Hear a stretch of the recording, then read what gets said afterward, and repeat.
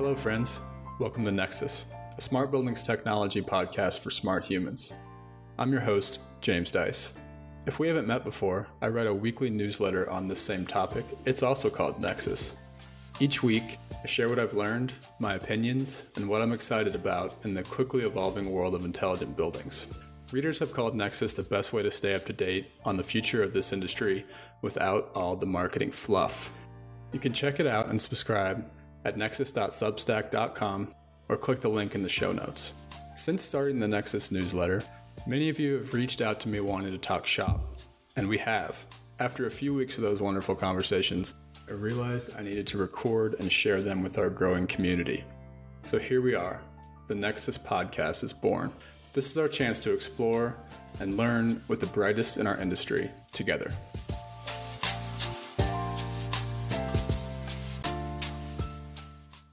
Episode 32 is a conversation with Erik Ubels, who most recently was CTO at Edge Technologies out of Amsterdam and now runs his own smart buildings consulting firm full time.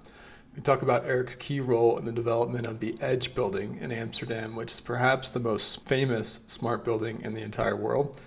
And since this is the last episode of 2020, we also look forward to 2021 and dive into Erik's top three trends for our industry. All right. Hello, Erik. Welcome to the show. Thanks for taking the time. Can you introduce yourself for us? Yeah. So, obviously, uh, my name is Erik Ubels. Uh, I've been in uh, smart buildings now roughly for, I would say, 10 years.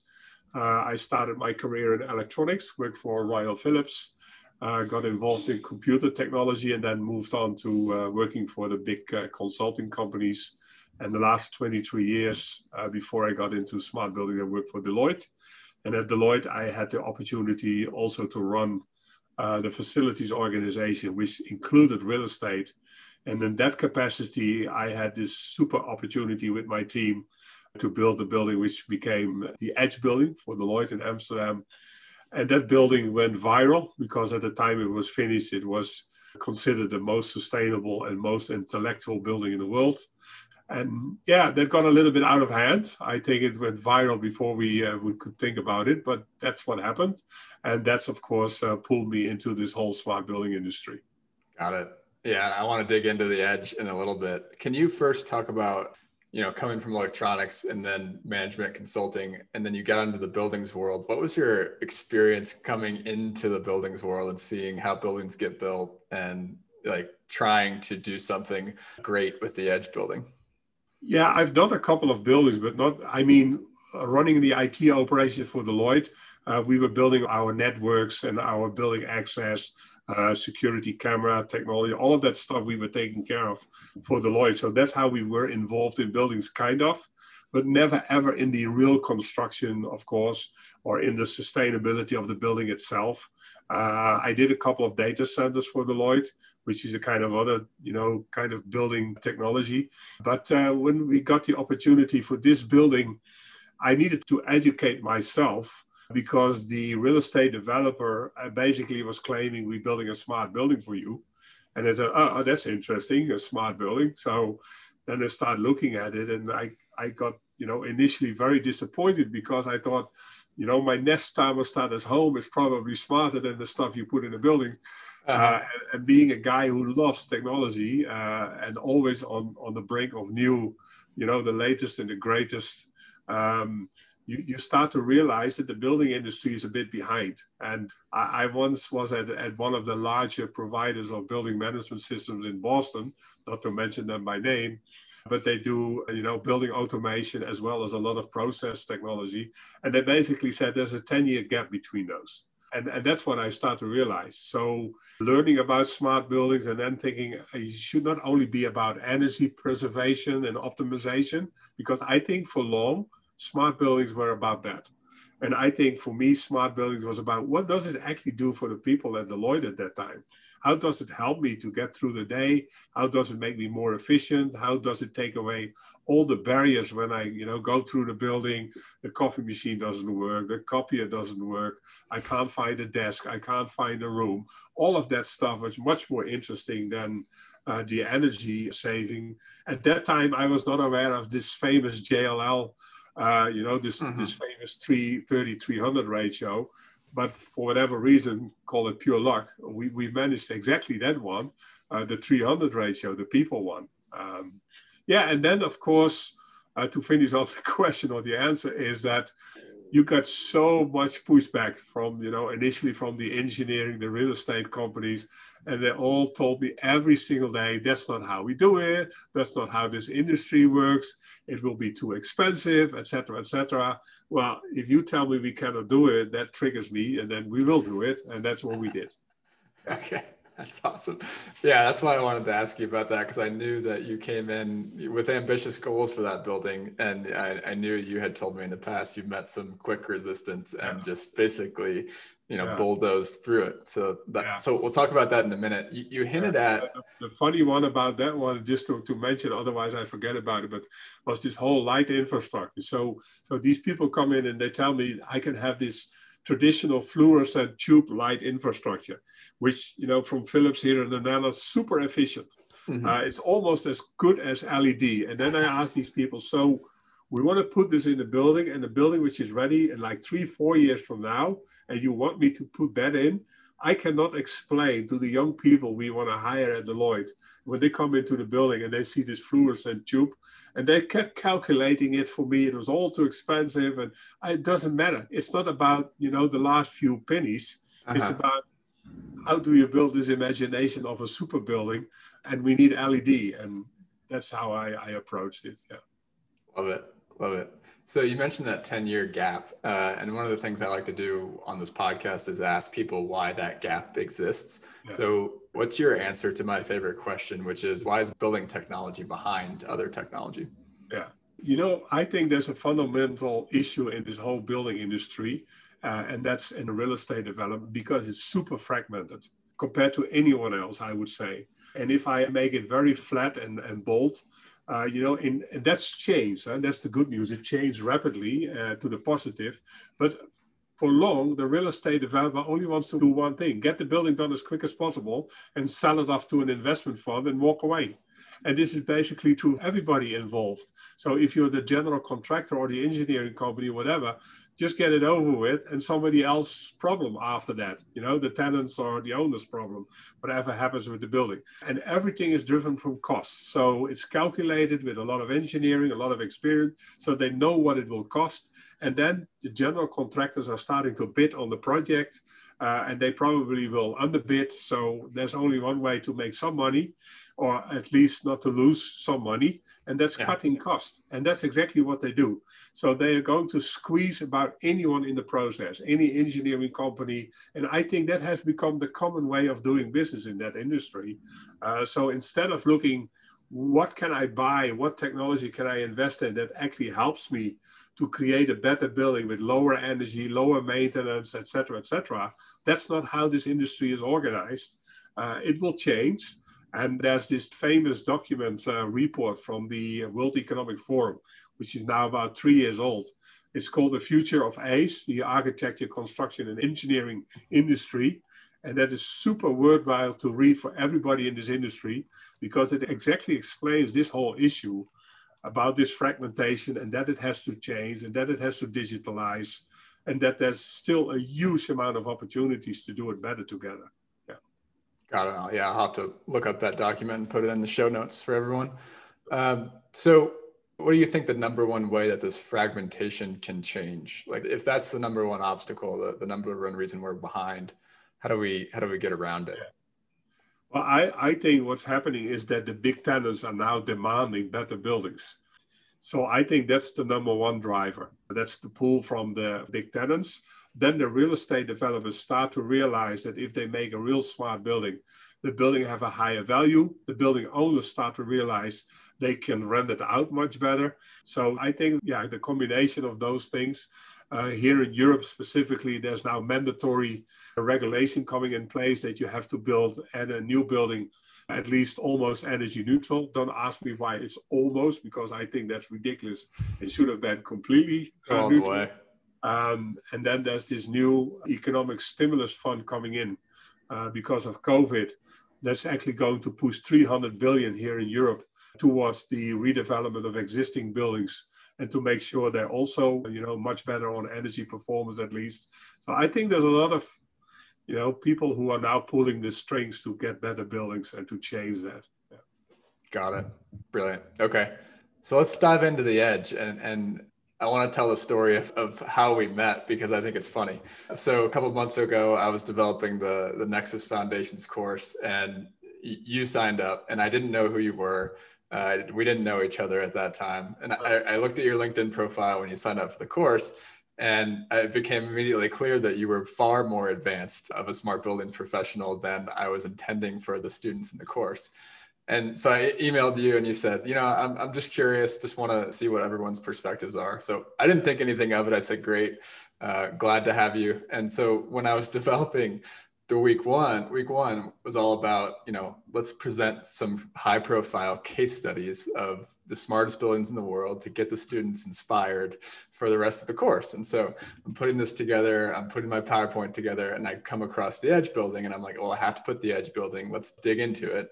And so I started watching the videos, and all of a sudden, I'm watching the most high profile video, which we'll put in the show notes as well. And all of a sudden, Erik Ubels comes up and he's being interviewed about, about the edge building, which was just a hilarious, like full circle moment for me where here's one of my quote unquote students in the course that's now in the number one case study. Uh, so that's a funny intro to this, but I wanted to ask you why. Why is the edge building so famous as we get started kind of unpacking it? Yeah, so, you know, I'm super proud of what I've did and with my team and all the people who were involved. So don't get me wrong. But of course, half of it is not true. Uh, because, you know, you, you have people who want to make nice stories in magazines and on websites and in webinars, and it becomes bigger and bigger by itself. So, mm. so the reality is, of course, a little bit different. But then again, I think it is the unique situation. There was an economic downturn. We were getting out of the 2008, 2010 when the development started. So, economic downturn, nobody's building new buildings. So if you build a new building, by definition, you would get the attention from, you know, the architectural magazines, the engineering magazines, etc. That one, that's one part of it. Sustainability was a big thing here in Europe. There would be nobody building a non-sustainable building. Hmm. Uh, and the real estate company that was developing it had a very good track record in building sustainable buildings. And then you have this guy called Erik Ubels who basically got a almost like a blank check from the board. I had built up a tremendous credit with my IT operation. Uh, I was asked to also run facilities.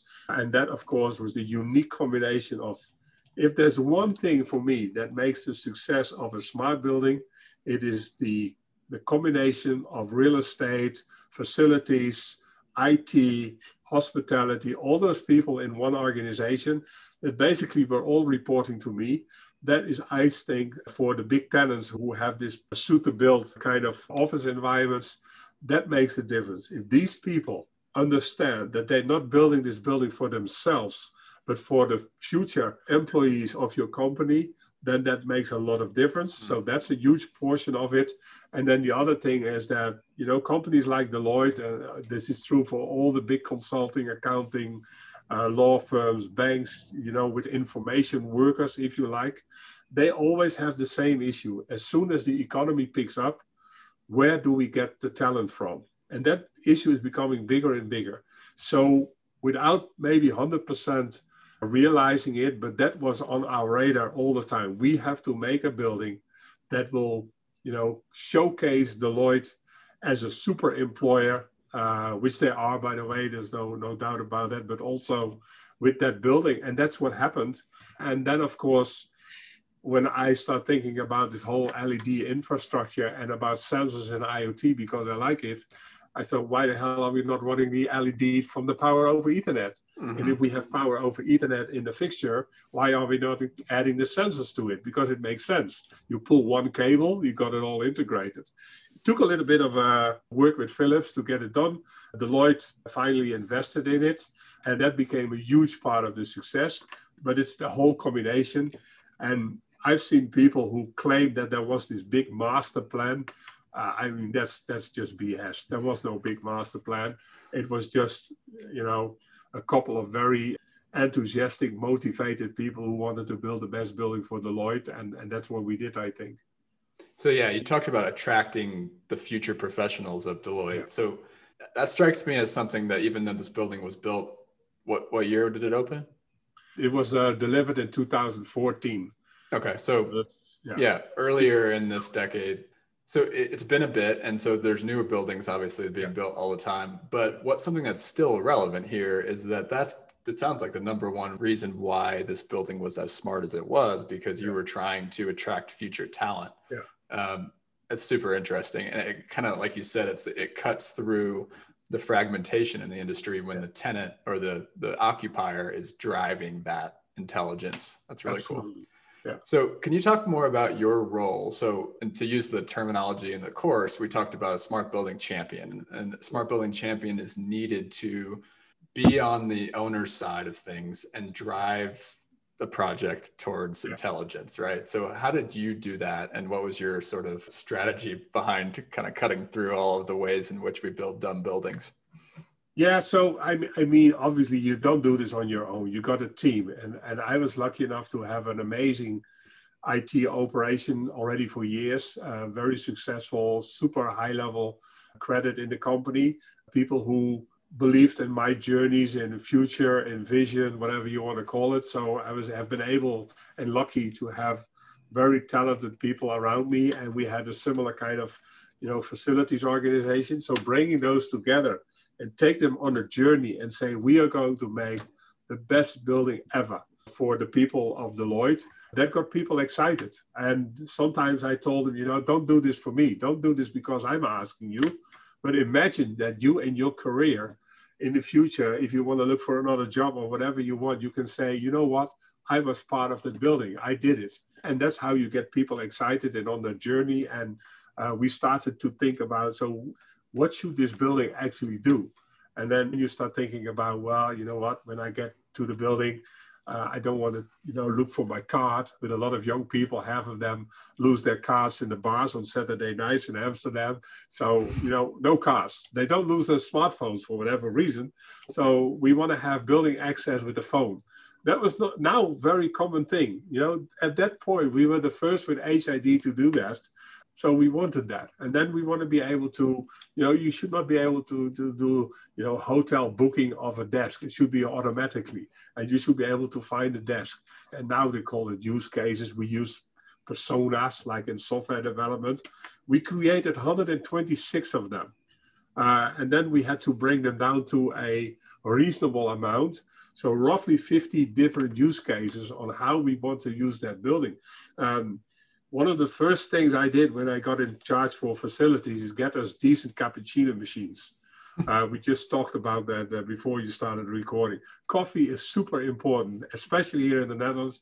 You do not start a meeting without taking a new cup of coffee. And I always had the philosophy why do I get such lousy coffee in the office while I have this amazing machine at home, but I drink more coffee in the office? So, what's, what's the logic? Uh, so, we had the opportunity you know, to buy very high-end cappuccino machines. And we talk with the vendor and the manufacturer in Switzerland and say, you have to make this machine in such a way that it will actually recognize me and that it will remember my preference. And then the guy said, well, you know what? A lot of people drink uh, cappuccino in the morning, but something else in the afternoon. Yeah, what's your problem? because you can remember that it was morning or afternoon, agree? And on top of it, we connected all those machines for the hospitality organization to monitor so that in, instantly they would know there's something wrong with the machine. Wow. If you take away all of this kind of, I know, you know, in a, in a large company, when you walk to a copy machine that doesn't work, you walk to another one. Nobody's mm-hmm. going to call the service desk. Uh, this is the same if there's something wrong with the restroom. This is also true with the coffee machine. You always think somebody else will take care of it. Well, they don't. So how about we're going to make that super easy with like an app where if you're in front of the coffee machine, you say submit a complaint and that the thing does not ask you where are you, what's the number of the machine so that you have to look on the side and figure out, no, that Very should nice. be instantly. So take away all the hurdles. So that's how we started to do it yeah, dreaming up more or less the capabilities of such a building. 100% wireless presentation to the to the screens throughout the building. Uh, 4K screens, super quality, no Crestron stuff on the table. We were still using Crestron, but there were no, you know, these in the meeting room, you had always this ugly black stuff with displays that never work and the cable crutch. We did not have that. And, and that's how you create a smart building. And that's what we did. And yeah, we kept pushing and pushing the vendors. And uh, if somebody said we cannot do it, said, well, that's a shame. Then we have to find somebody else. So that's hmm. how we did it. Yeah. So, I mean, you've told me in the past, and you mentioned earlier that you just got so much pushback. So, for the other champions that are out there trying to move their projects forward, how do you, besides telling them we're going to go to a different contractor, we're going to go to a different vendor, how did you kind of like during the design and construction process sort of push through that uh, yeah. resistance?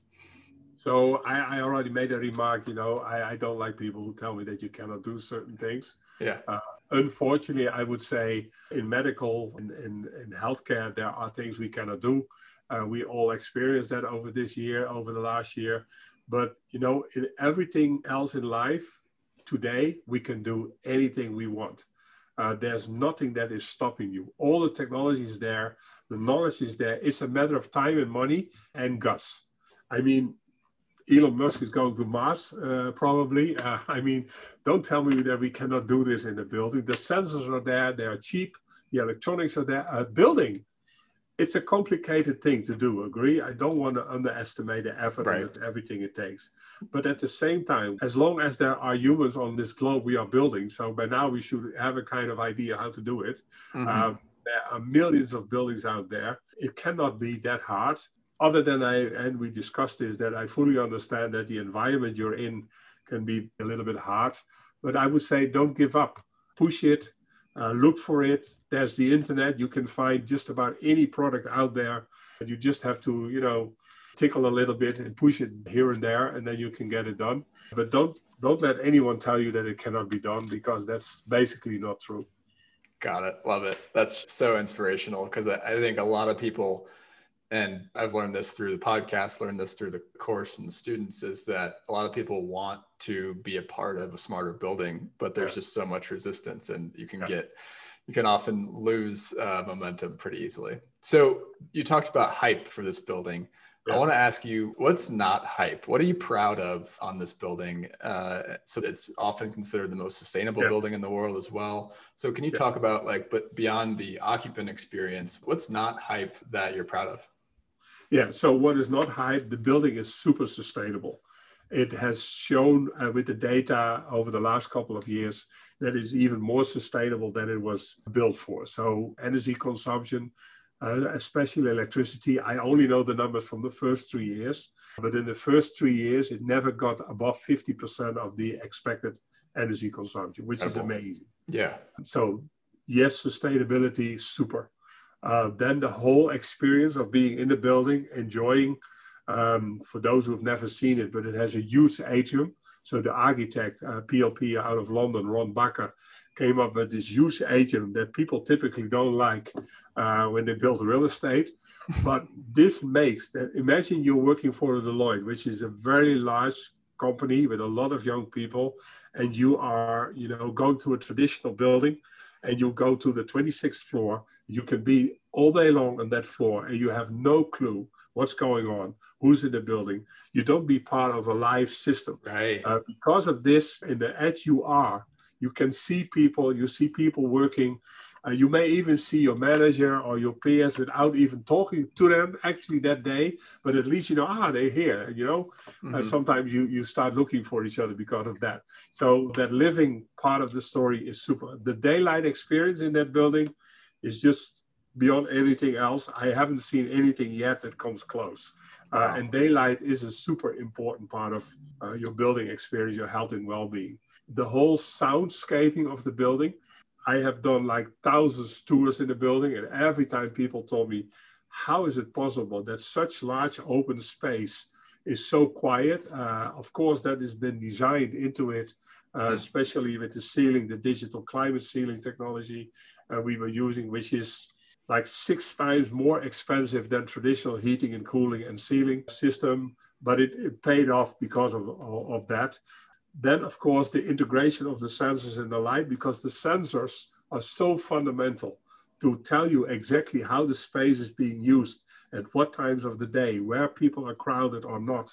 That allowed Deloitte to put so much more people on the same space. When the economy came back, they started to hire much more people than uh, than we expected. Mm. Uh, so you know, from that perspective, it's also you know pure on the on the business case a much better building than they ever expected. So that's perfect.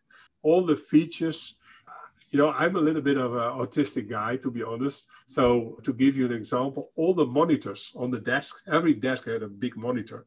The color of the monitor is white. You say, what's so special about it? Well, it's specially made white. It's Deloitte house style white. It's not just white. So, Deloitte at that time, I still have the same three basic colors, which is white, blue, and green, and their house style. Uh-huh. So, everything in that building is in that color. So if you have a locker, obviously which you can control with your smartphone, and you can put your clothes in there or, or some of your stuff, then typically such a locker would have a red LED for being blocked or green for being free. Well, not at Deloitte. It's blue and green. It's Deloitte blue and green. Uh, and this is true. The cables on the keyboards, on the cables, everything is in the same color. And you say, why is this important? Well, I can honestly tell you, when you walk into a building and everything is in that style, it creates a kind of, I call it quietness in your eyes. Mm. You don't have a lot of holes in the ceiling. If you have a traditional ceiling, there's so many different things that are popping up in the ceiling, uh, sensors, air in and out. You know, you don't have that. It's just the light infrastructure, and there's a little sensor in the infrastructure. It, in one way or the other, it makes you less fatigued, and it creates this very quiet environment. So mm. all of that, that's not hyped. The coffee is not hyped. Your the visual systems are not hyped. The app is a bit overhyped, to be honest with you. Not a huge success, um, not because of the app, but we were one of the first to apply an end user app. Mm-hmm. And at that time, I make mistakes as well, and that's worthwhile to learn. Um, at that time, there was still a lot of debate whether Microsoft would create a Windows phone or not. Our people obviously wanted an iPhone for sure. Uh, and we were building a multi-tenant building, so we would not know what kind of phone do the other tenants use. So will they have, you know, Android or iPhones or Windows phones? Or whatever. So we need to make a system that is universal and will work on all those different platforms. It needs to work on tablets, it needs to work on a PC, on a Mac. So we decided to build it 100% web-based. Well, that's a huge mistake. People don't want a web-based solution on their iPhone; they want an app. They want a dedicated app. Yeah. And, uh, that's one part. So now, obviously, that company, which is uh, quite successful, uh, IQ out of the Netherlands, has built an amazing app that can control all the different things in the building, can do wayfinding, room booking, etc., etc. But we did not have the localization technology. At that time, Philips told us they did not believe that Bluetooth became so big as it was, or as now is. Can you imagine? Uh, now everybody right. understands it. But what do you mean by localization technology? Like that means that basically your phone knows where you are. Locating people. Because then you can, of course, provide the services related to where you are. Got it. Uh, so you don't have to check into your desk. If you want to control the light and the temperature, which the building does, Mm-hmm. then one way or the other, if you pick up your phone to do so, that phone needs to know which light do I want to control. Right. Uh, so you use Bluetooth to localize your phone uh, and tell your phone or the app specifically where you are. This is also true when you want to open doors automatically. Uh, you know, when you get closer to the door, it gets unlocked because on who you are based on your authorization. Obviously, it needs to know who you are and where you are. So that's fundamental, but and that's now very commonplace in modern buildings. Mm-hmm. But we did not have that, so that was a bit of a of a challenge. Yeah, so I mean, there's certain things that didn't work. Um, I can honestly tell you, even if you have a building app, but there are features that you can do without the app, people will not use the app. So okay. you, you can order a coffee through an app and it can recognize, but you have to walk to the coffee machine anyway. So uh, touch the big display and say, I want a cappuccino. I mean, that's as easy as a phone, agree? So it doesn't yeah. So, so yeah, you learn a lot of those things. And uh, so it, okay. it's an amazing building. I'm still super proud. It's you know, I get seven, eight requests a day from out of the world of people who want to talk to me about this building. There's, there's absolutely still fantastic. And to be honest with you, in my current experience, it is still hard to convince people to do similar stuff. While this building has now uh, been in operations for six years, mm-hmm. so hey, this industry is not always moving as fast as uh, some others. So still a lot of opportunity also. That's the good news. Tons of opportunity. Yeah. yeah. So you mentioned Microsoft and I don't want to key in on the phone thing. Obviously we know how that turned out, but you told me previously that this was built, all these solutions were built on Microsoft IoT infrastructure. Yeah. So this was long before, so two episodes ago we had Matt Vogel on, on the show. He talked about today's Microsoft IoT infrastructure and the Azure Digital Twins. So back then, though, this was sort of just like a Apple and Microsoft's eye. So talk about how you use Microsoft on that project, and then how you've seen yeah. that progress, that solution progress, and why you're. If I'm assuming yeah. you're excited about it, why are you excited about what Microsoft yeah. is doing today? So obviously, one of the the whole ideas about that building is that we would have one view on all the data of that building. So obviously, working within a large company, you have these silos I was running IT, super integrated, completely on Microsoft technology. And then we had our facilities organization, uh, different tools. I don't like that. I want to have the data in one place and being able to say, hey, tell me what's going on in the company, uh, and, and especially on, on those assets. So we wanted to pull all of that stuff together. And at that time, even though we were using cloud computing, uh, our security people were not too happy to put this building uh, on the internet that way. I would have done it. Uh, I'm a little bit more brave um, on that, but uh, so we we decided to build a platform ourselves. This was in 2010 when we started. So we basically connected all the different pieces of technology, and we were using all of the traditional components like Microsoft SQL Server, uh, Microsoft Web Services, early Microsoft IoT capabilities, just just like the Lego box uh, Microsoft provides, but it was not 100% cloud-based solution. Uh, obviously, that that is a huge thing right now. Interesting thing when we started to do this, Microsoft learned about it and they came to help us to actually educate us. So Matthew Vogel, I always almost I know Matthew and Bert and all of those guys. Yeah, they have been of super help to us to actually make it happen, uh, and also to drive it all to this this common uh, Microsoft platform which we were using at the time. And I also felt already that that Microsoft would be a huge party in this whole smart building industry. I'm, I'm a Microsoft adept. I never make a secret out of that. I have a relationship with them for over 30 years. Uh, and, and I like those guys for a whole bunch of different reasons. But I think it's fundamental to understand that even people not, may not realize it, but in the embedded industry, so whether you're in machinery or in healthcare equipment or in just about anything, there's Microsoft Insight.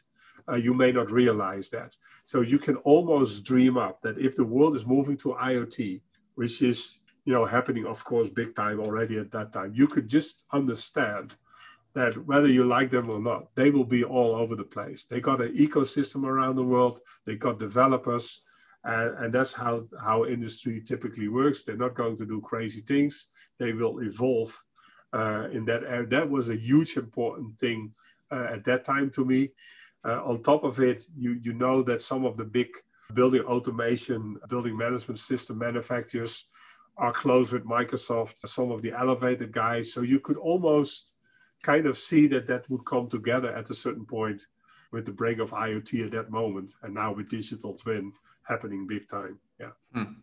Yeah, this is an interesting. Uh, so the, the podcast episode after you will be about the whole IT versus OT situation, yeah. and I think it's interesting to get your perspective on it. So, do you think there should be two separate types no. of technology, or you think it all should be one? It sounds like it's one, and at the edge we built one I integrated or converged network, as they call it. Mm-hmm. Uh, I would not have it anywhere else even though obviously we also had at that time already discussion with some of those people.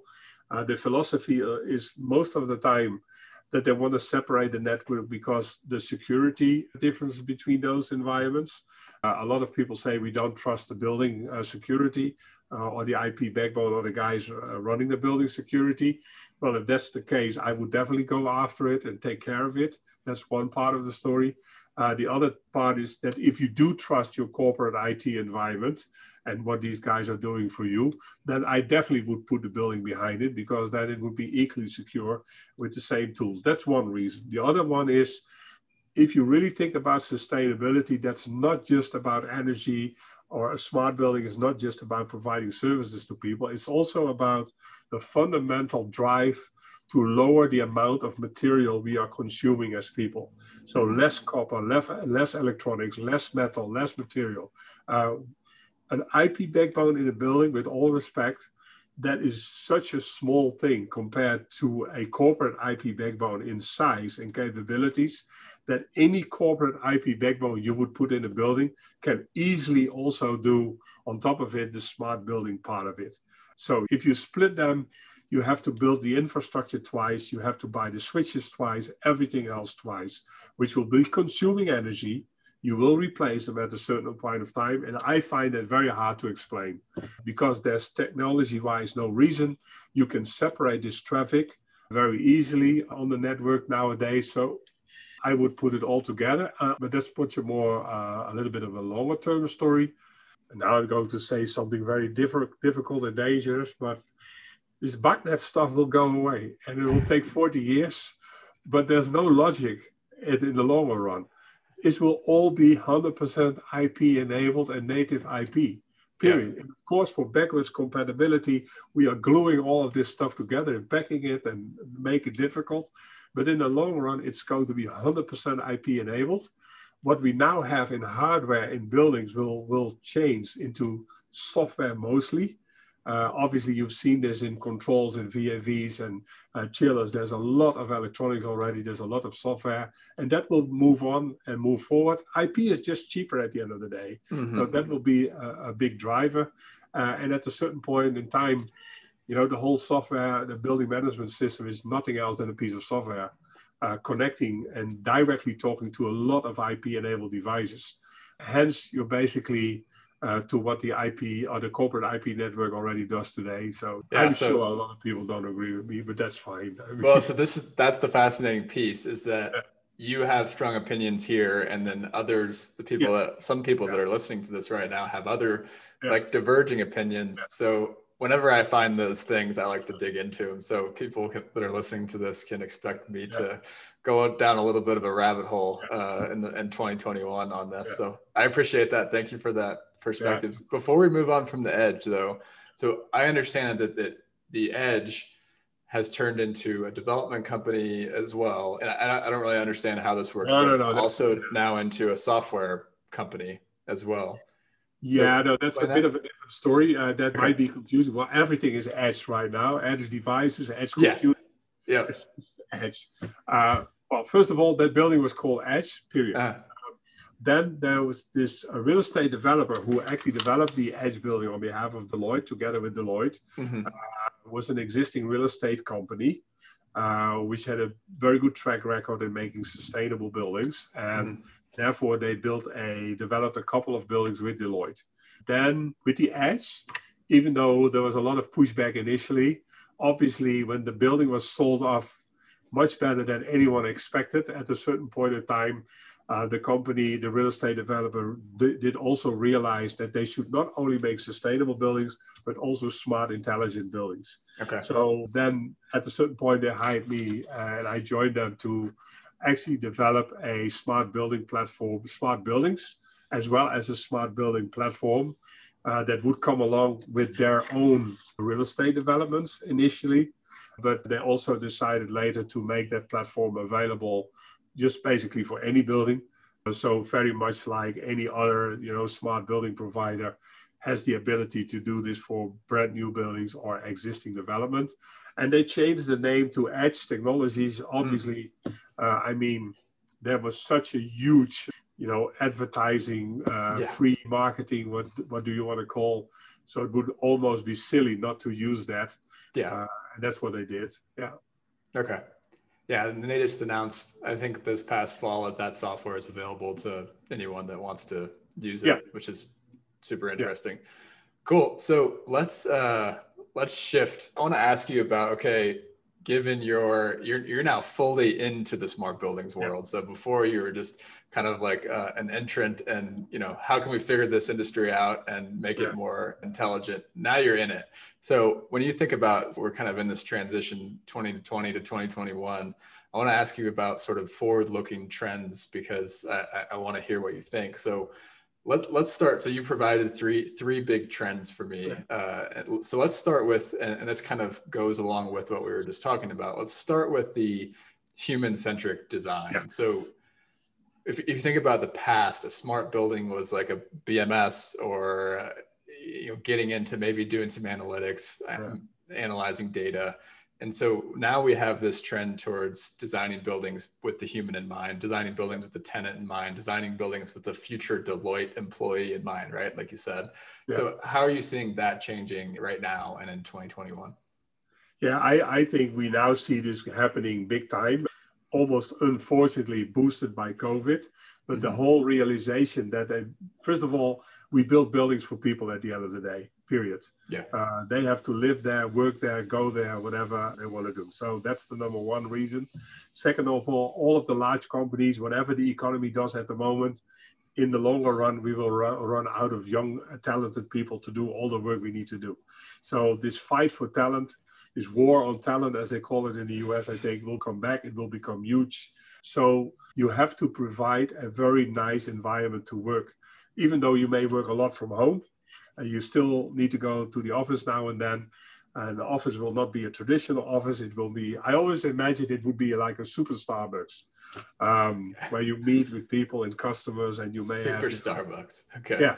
And so they have to provide it to be attractive and, and to, you know, find talent. That's, that's a huge thing. On top of it, people start to realize that the building, if you spend so much time inside, that this really hurts if you're not in a good quality building your health and well-being, your energy level, uh, your creativity. We always made this nice comparison. If you're in a bad meeting room, uh, your CO2 level, you know, in, in just like an hour or two can go up to 1200 or 1400 ppm. That's exactly the same as consuming three glasses of wine, uh, which basically means at the end of the meeting, when you make decisions, you were all drunk. So, I mean, that's not a good situation we're in other than that you get fatigue and that, that you don't have energy anymore and for whatever. But so i think this whole health and well-being is super important. Now with covid we have to prove to people that the building is safe and secure. I don't think that will that will go away. So it's not just temperature uh, humidity co2 level but it's air particles it's voc it's noise it's daylight. All of these things uh, you now have to more or less prove in a building. And that's only the you know the technical air quality kind of thing if you if you like. But obviously also the whole environment from you know living room kind of meeting rooms instead of the traditional setup mm-hmm. uh, that you feel more relaxed if you talk to people. Different kind of choices you need to have uh, depending on the task you have at hand. They call it uh, activity based working or there are all kinds of fancy names for it. Yeah. But but basically it means you go to the office and whatever you need to do there's an environment that best fits that activity. And that can be, you know, an open desk where you have a couple of people and you can chat a little bit now and then with your colleagues. That can be a, a single phone booth where you have very concentrated phone call. Equally, you could have something like a video conferencing, larger groups, a coffee, uh, I mean, all kind of different settings to actually optimize that. And, and this is not only true for, for the meeting space in the area, but also the food you will get. Do you have like a fitness area? All of that stuff actually would contribute uh, to make a, make a super building. Yeah. Got it. All right. Um, I love that. And I don't think that one is going to surprise a lot of people given the pandemic and like where we're at right now in the industry. This next one might surprise a couple of people. So you talked about uh, full IP enablement. We talked about it a little bit earlier. And with that, going away from DDC to more IP enabled, you call them integrated controllers. And I, I, thought this was funny because this there's a LinkedIn discussion that happened this week where Rob Huntington from Australia, he said, the sun is setting on BMS as we know it, and change is coming through building operating systems and packaged equipment control, which is, I think, what you mean by integrated controls. which, when delivered together, will eliminate the need for field fitted BMS control altogether. So I think that's kind of the same thing you're talking yep. about here, which is super interesting to me. I'm actually writing a piece about this right yep. now. Where, what are you seeing in this area, and and what do you, think it means for disruption uh, of maybe the the big controls companies? Yeah, I, I, mean, I know that some of these big control companies are actually working on this technology. So I don't think there there will be other players, but also the traditional ones will be there for sure. So I'm not too worried about that. But for me, it makes a lot of sense. Why why would you buy a DDC? Is basically a PLC, uh, which exists for 40 years. It's a bunch of IOs, digital, analog, a couple of, of protocols, whatever. And then you have to specifically program this thing to do whatever you want it to do. Well, a building is a very specific thing. You want to manage temperature, uh, light, the blinds. So why would I need to take this big universal, which, which has a huge capability, don't get me wrong. Right. And in the industry, there's a lot of reason why you want to buy it. But in a building, you can almost dream up what you want to do.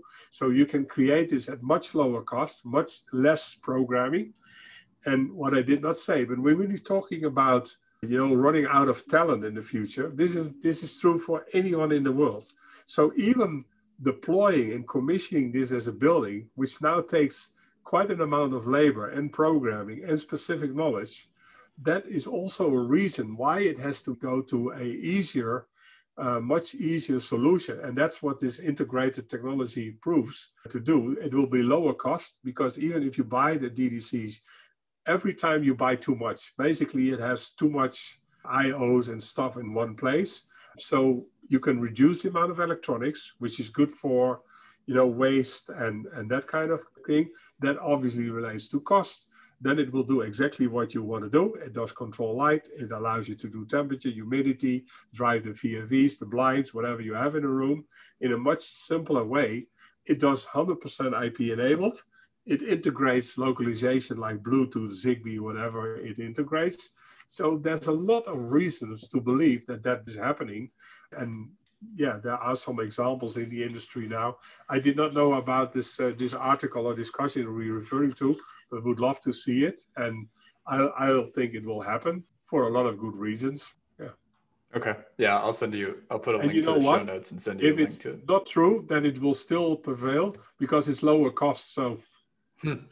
Okay. I mean, I've already seen calculations from Schneider uh, Schneider provides this. I'm sure the others are doing this as well. Uh, if you compare it one to one, so you would lay out exactly the same building and you go for DDC or integrated, you will see that integrated is lower cost. So, yeah, it'll happen on its own. Yeah, I've always said that I think the opportunity that I see for this is that today's BMS is terrible at supervisor control, and I've written yeah. a ton of essays on this. It's just if you if you walk into the average building there's a ton of opportunity around doing that layer better. Yeah. And so what I'm seeing is like there's these overlay platforms, software platforms yeah. that can take on that responsibility, yeah. cut it out of the BMS layers, right? And then okay, if that layer is cut out, and then you're what you're talking about is the edge controllers, that those being done differently, then we start to have a different BMS altogether. So yeah, and a lot of that capability will actually be driven to the edge devices uh, because you don't need to push all the data from all the sensors directly into your cloud environment. That, that's a little bit unnecessary. So there will be a lot happening on the devices. These edge devices become smarter and better. So they will also run some of the AI you need in a building. Uh, so yeah, I mean, it's a very logical evolution in my opinion. All right, let's transition to, to number three. This relates to what we were just talking about. So you said a, a pure software layer, right? So pure intelligent building management platform, as you called it, basically an overlay sitting on top of all this, right? And some people call this a digital twin. There's a little bit of confusion around. So, what are you seeing in this area? Yeah, I mean, if there's one person who believes in digital twin, then for sure that's me. I think without realizing it, but after realizing the edge and talking to to Microsoft, the team with Pat Van Hove, and Matthew Vogel, those guys started this is smart spaces development, which is now their digital twin. I think a digital twin is fundamental to just about any industry or anything you want to do uh, with IoT. So it's a logical consequence of IoT. not very well understood. And like any new technology in any industry, overhyped by a lot of people. that means if you would go to, well, we cannot go to a trade show, but one of the last trade shows I was was IoT Congress in Barcelona. And suddenly everybody has a digital twin, right? Just because it's a marketing hype. So that's of course not true. So I honestly believe whoever listens to this, make sure you understand the fundamental difference between a real digital twin and a marketing hype. And a digital twin is not a 3D design of your building on the screen that you can, uh, you know, play with with your mouse. Very useful, but not. And then have the data plotted on a traditional building management system and database onto that screen. That's not a digital twin, but that's 99% what you see out there at right. the moment. Right. A digital twin is about modeling your building. So you use a descriptive language to basically explain how your building uh, looks like, how it's built up. And then it allows you, or basically knows, to give you an example, if you look at a floor plan of a building and you see on that design the temperature, the humidity, the CO2, the number of people in the room, we as human beings know that that's all related to the same room. So we immediately in our brains, we know that it's connected to each other. Mm-hmm. A real digital twin allows you to associate, if you like, for another better word, but that knows that these things belong to each other, that they all belong to the room. So they're not individual data points taken from a traditional database, but they belong to each other. Therefore, you can also apply methods to it. You can query that kind of data. And that is fundamental in the longer run to allow machine learning and AI to be applied to it. So yeah, again, Microsoft does others out there, but Microsoft is doing an amazing job in this space together with, with a company called Willow in Australia. There's a couple of others out there, but they are doing an amazing job to, to bring this to the marketplace. And if you don't understand, you know, check it out and make sure you understand digital twin. On top of it, just beyond smart buildings, this is identified as one of the top 10 technologies in the next decade or in this decade. So there's uh, autonomic cars, there's uh, machine learning, there's AI, and then there's digital twin. So it will be huge throughout just any industry. Mm-hmm. This is something that it's just so hard to cut through the hype in this industry on this. What do you think is the key to educating building owners on the value of digital twins? Yeah, I think the digital twin on itself is, is a little bit hard to explain, especially if you're not in, into it. I would say, you know, at least you need to understand that's pretty fundamental to get it right for whatever you want to do in the future with the buildings obviously people are much more looking into i need to manage my energy or my space or my health and well-being and that's driving their their concern. But i would say that make yourself known a little bit about digital twin you don't have to be an expert uh, but at least try to figure out what's the difference between marketing hype and real and choose whatever product you can find that actually does use a digital twin behind it because it's so fundamental for whatever you will do. And you know if you buy an energy management platform or space optimization whatever you don't buy those things every week. So typically you know you, you buy it and you have like three five or sometimes eight years go along with that kind of technology. So you better make sure you you buy the right thing. Totally yeah, I think you covered it well. It's it's just like we have to get past the hype as an industry yeah. and get into what it actually is. And I feel like we're, yeah, I'm a part of so many panels and so many discussions around just like clarifying myths or busting yeah. myths, clarifying what it is. And like maybe in 2021, we as an industry can just like get past that piece and get into like actual case yeah. studies. Because I, I think the the struggle with building owners is with a digital twin that we're realizing the value is kind of also realizing a different way to do business right yeah. so whatever business you're in whether it's commercial real estate or you're a hospital or you're school district there's a different way to run your organization yes that a digital twin enables yeah. and until we get to that piece that realization i, I think yeah. they're always going to like limit the value consider it sort of a point solution or just like not get it and so we have to get over that hump and i'll try to do my yeah. best to get us there I, I mean th- this whole digital twin is fundamental to be able to pull all of those different data sources together mm-hmm. uh, you, you, can theoretically do this in a traditional technology but this is fundamental then it is a it's a layer that allows you to as I call it associated. Probably, you know, one of the guys at Microsoft is going to kill me over it because I haven't found another better word for it. But just the fact that this system is able to understand itself, how it relates to all those different other pieces. That is the fundamental difference, in my opinion. Mm-hmm. And on top of this, at the end, we all want to have this single pane of truth. We want to look at the screen and know what's going on in all those different systems. And the digital twin plays a very important role into that. Yeah, so we cannot express enough how important it is. Awesome. All right, Erik, thanks so much for your time. This has been this has been really fun. It was fun. Yeah, looking forward to it. Thank you so much. All right, friends. Thanks for listening to this episode of the Nexus podcast. For more episodes like this and to get the weekly Nexus newsletter, please subscribe at nexus.substack.com. You can find show notes for this conversation there as well. As always, please reach out on LinkedIn with any thoughts on this episode. I'd love to hear from you. Have a great day.